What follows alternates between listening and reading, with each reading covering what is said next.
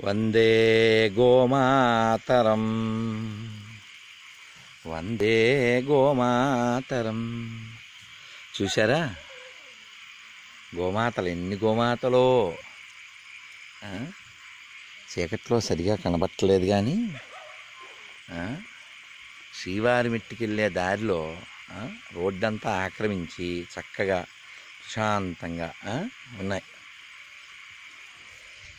ఈరోజు ఏకాదశి కదా ఇక్కడ హనుమంతుడి టెంపుల్ ఉంది.